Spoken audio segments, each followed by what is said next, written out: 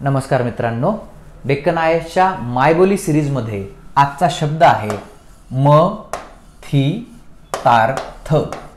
हा शब्द मी हळूहळू उच्चारण्याचं कारण म्हणजे अनेक लोक हा शब्द असा न लिहिता म ती तार्थ असा लिहितात. मथितार्थ लिहिण्याऐवजी ते मतितार्थ असं लिहितात जे की चुकीचं आहे.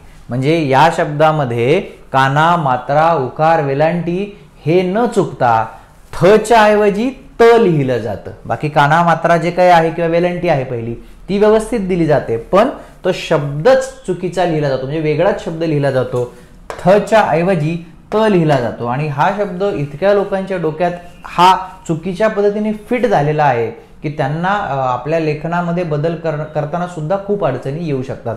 मथितार्थाचा अर्थ काय आहे? की एखादी चर्चा झाली असेल एखादं डिस्कशन झालं असेल तर त्याच्यातून जी कन्क्लू जे कन्क्लुजन निघतं जे तात्पर्य किंवा निष्कर्ष निघतं आपण काय म्हणतो? हां मग थोडक्यात हे एवढं सगळं आपलं बोलणं झालं तर त्याचा मथितार्थ काय आहे? तर बुवा हे हे आहे. सर तुम्ही एम पी एस सीचे एवढ्या वेळ चर्चा केली याचा मथितार्थ काय आहे? काही नाही. तुम्ही जुन्या प्रश्नपत्रिका पाहायला पाहिजेत जुन्या प्रश्नांचं ॲनालिसिस केलं पाहिजे आणि भरपूर टेस्ट सोडवल्या पाहिजे. हाच कोचिंगचा आणि सगळ्या मार्गदर्शनाचा मथितार्थ आहे. असं जर आपलं असं आपल्याला म्हणता येतं त्यामुळे इथून पुढे लिहिताना हा हा शब्द लिहिताना मथितार्थ असा आहे. मतितार्थ असा नाही. इथे थ आहे. मथी मथितार्थ.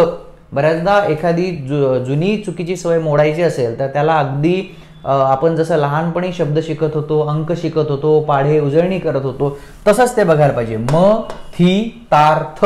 मतितार्थ नाही तर म थी तार्थ. इथून पुढे लिहिताना हा शब्द असाच लिहा. नवीन शब्द घेऊन आपण लवकर भेटू. धन्यवाद.